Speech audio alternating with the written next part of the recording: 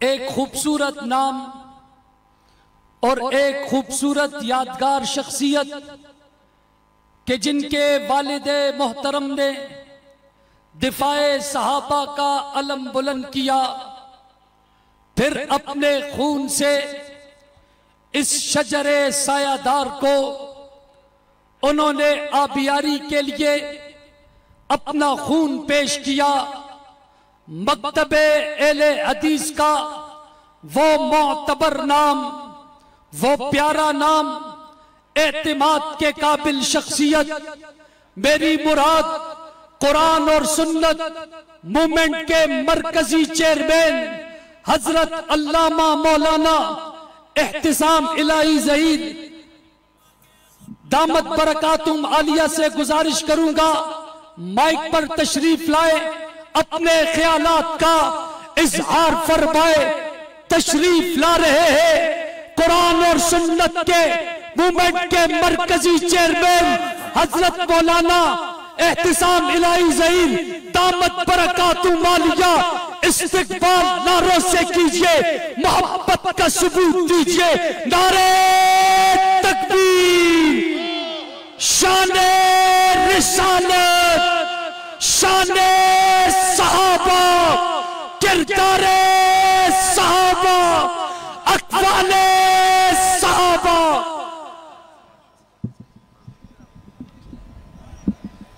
थोड़ा थोड़ा नहमद नसली अला रसूल करीम, बिस्मिल्लाहिर्रहमानिर्रहीम। फ़ैन आमनु बिमिस्लिमा अमन तुम बिही फ़कद तदौ हजरात ग्रामी कदर,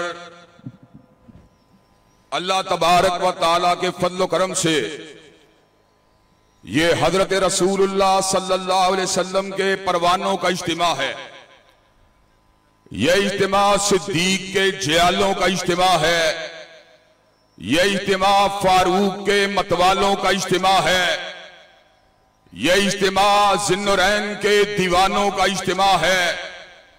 यह इज्तिमा अली अल मुर्तदा और हसनैन करीमैन के ऊपर वरफ्ता होने वालों का इज्तिमा है। और यह इज्तिमा अमीर अल हक और साहिब तदब्बर और साहिब अजम और साहिब शान अमीर मुआविया के नाम लेवाओं का इज्तिमा है।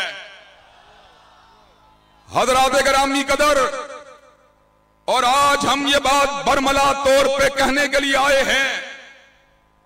इसलिए कि ये शहादा के वारिसों का इज्तिमा है कि अल्लाह तबारक ताला के फजल करम से जब तक देवबंदियों का, जब तक बरेलवियों का, जब तक अहले हदीसों का एक बेटा ज़िंदा है सिद्दीक की सदाकत के डंके बजते रहेंगे। फारूक की अदालत के नारे लगते रहेंगे। जिन्नरैन की सहावत के आलम को उठाते रहेंगे। अली अल मुतदा की शुजात के डंके बजाते रहेंगे। और मुआविया के तदब्बुर के नारे लगाते रहेंगे। हजरात ग्रामी कदर, ये मुल्क साहबा के राम अली मजमाइन के परवानों का मुल्क है। और मैं ये बात बतला देना चाहता हूँ, हमने सन तिरपन से लेकर सन चौहत्तर तक हतम नबूवत की, चौखट की हिफाजत की थी। और बिल्लाहिर, सात सितंबर को पाकिस्तान की कौमी असेंबली ने फैसला सुना दिया, जो हजूर की हतम नबूवत को नहीं मानता। जो आपको आखिरी नबी नहीं मानता, जो आपको आखिरी रसूल नहीं मानता, जो आपको आखिरी साहिब इल्हाम नहीं मानता, जो आपको आखिरी नातक वही नहीं मानता, वो दारा इस्लाम से खारिज है। अब भी बीस साल से ज़्यादा अरसा हो चुका है, लहू गिर चुके हैं, संगीनों को फेंका जा चुका है, हथकड़ियों को बनाया जा चुका है, बेड़ियों को लगाया जा चुका है बमों को फाड़ा जा चुका है। वो वक्त करीब आ चुका है। जब नामू से साहबा के झंडे इस्लामाबाद के ईमानों पे लड़ा दिए जाएँगे। हजरात ग्रामी कदर मुझे यह बात बतलाइए। वो बिल जिसने कभी बानवे वोट हासिल किए, वो बिल जो अल्लाह के फजलो करम से बाद अदा सुबाई से मंजूर हुआ। वो बिल जो बाद कौमी असेंबली और सेनेट से मंजूर हुआ और याद रखो आरफ अलवी अगर तुम दस्तक नहीं करते, ना करो। हम ये बात बतला देना चाहते हैं, वो वक्त करीब आ चुका है। अल्लाह के करम से जब अलमत साहबा का कानून, पाकिस्तान का कानून बन के रहेगा, और साहबा के गद्दार अल्लाह के करम से इनको कॉर्नर करके छोड़ेंगे। हजरात ग्रामी कदर, अगर एक इंसान की इज़्ज़त के लिए हद के इज़्ज़त का कानून मौजूद है, अगर एक इदारे के तापुस के लिए तोहीन अदालत का कानून मौजूद है तो मुझे कहने दे, अबू बकर तो अबू बकर है, उमर तो उमर है, उस्मान तो उस्मान है, अली अल मुर्तदा तो अली अल मुर्तदा है दुनिया की सारी अदालतें अगर जमा हो जाए, मुआविया भी नबी सुफियान के जूते के तलवे का मुकाबला भी नहीं कर सकती। हजरात ग्रामी कदर, दुनिया की सारी अदालतें मुआविया के जूते से लगने वाली मट्टी का मुकाबला भी नहीं कर सकती। तो हजरात ग्रामी कदर, अगर उनकी इज़्ज़त के तहफुज के लिए ये कवानीन मौजूद हैं तो इन साहबा की अदमत के कवानीन को भी इनशाला बनवा के भी छोड़ेंगे और मनवा के भी छोड़ेंगे इनशाला हजरात ग्रामी कदर।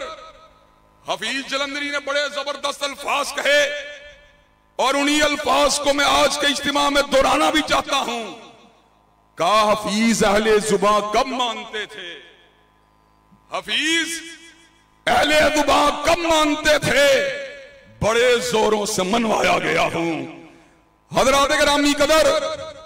हम ये बात बतला देना चाहते हैं। ये बात के तो हीन रिसालत, के कवानीन जिस तरह हज़रत रसूलुल्लाह की नामूस के तापुज की जमानत देते हैं, इसी तरह तापुज अहले बैत और साहबा के कवानीन भी उनकी अजमत के तापुज की जमानत देते हैं। हजरात ग्रामी कदर, दुनिया के अंदर कोई को बहुत बड़ा कोड़ मगध ऐसा होगा जो कहेगा तो हीन रसालत के कवानीन से मुआशरे के अंदर अनारकी फैलती है।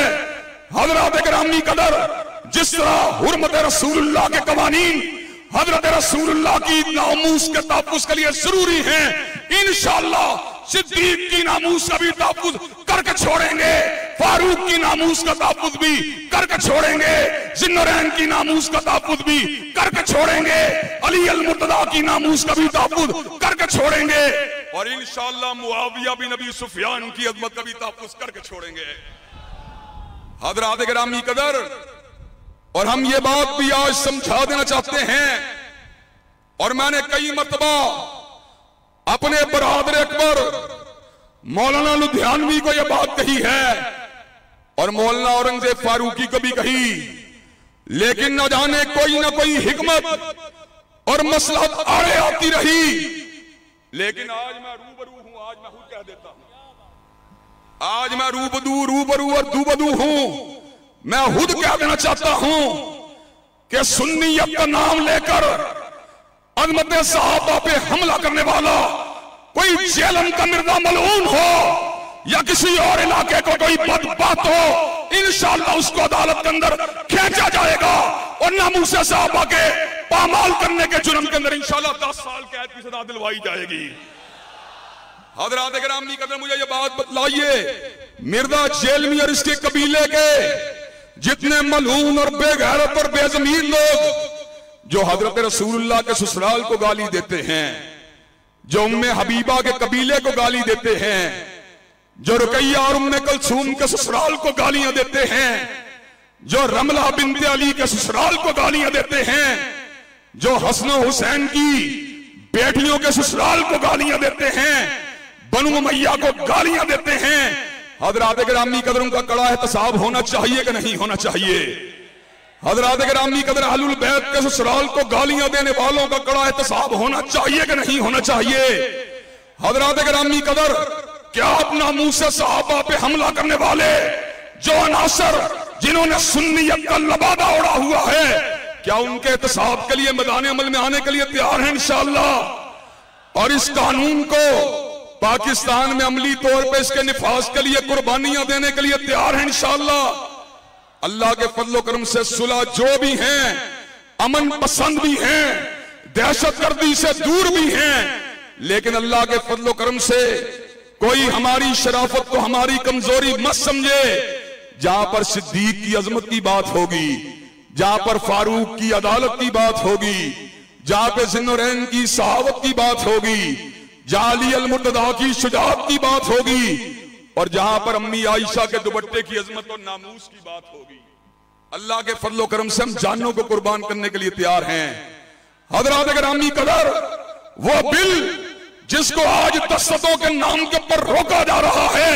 लेकिन मैं बात एलानिया तौर पर कह देना चाहता हूँ इंशाला मुल्क का आइन बन के रहेगा क्या आप इस अदीम मिशन में कायदीन का साथ देने के लिए तैयार हैं अकाबिर अहले सुन्नत के हम कदम होने के लिए तैयार हैं, कंधे से कंधा, कदम से कदम मिलाने के लिए तैयार हैं। इंशाला अब टूट गिरेंगी जंजीरें और जिंदानों की हैर नहीं ये दरिया झूम के उठे हैं तिनको से न डाले जाएँगे।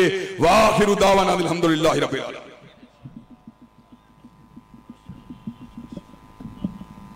शहीद नामू से सहाबा, खतीब सुन्नत, हज़रत अल्लामा मौलाना एहसान इलाही जहीर शहीद रहमतुल्लाह के फर्जंद, अल्लामा इब्तिसाम इलाही जहीर आपसे खिताब फरमा रहे थे और यकीनन इनके खिताब से यह महसूस हो रहा था कि किसी शहीद का खून बोल रहा है।